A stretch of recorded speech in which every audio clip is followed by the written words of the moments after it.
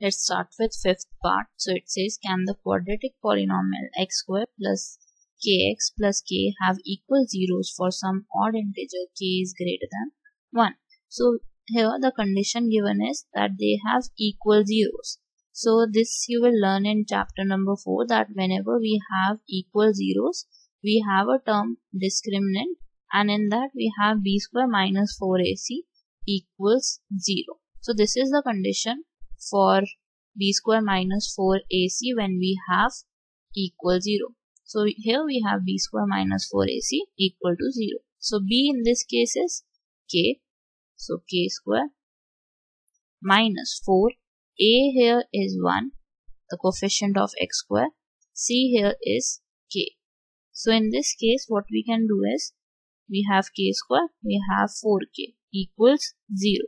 Now what we can take common is k. We are left with k minus 4 equals 0.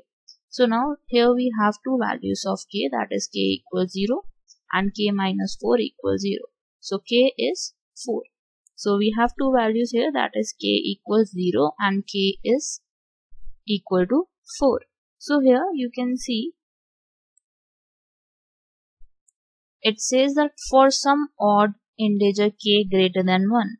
So here we have two values of k that is equal to 0 and k equals to 4. So in this case it is very much clear that k is greater than 1.